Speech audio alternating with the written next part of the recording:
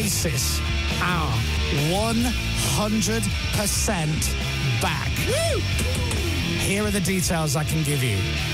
4th and 5th of July, next summer, Cardiff at the Principality Stadium. 11th, 12th, 19th, and 20th of July for Manchester's Heaton Park. 25th, 26th of July, and the 2nd and 3rd of August is London's Wembley Stadium. 8th and 9th of August, Murrayfield, Edinburgh, and then ending in Dublin at Croker, 16th and 17th of August.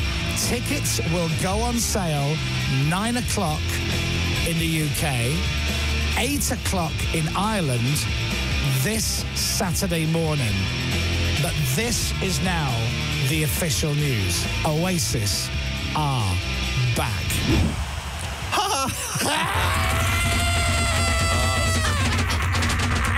Here we go.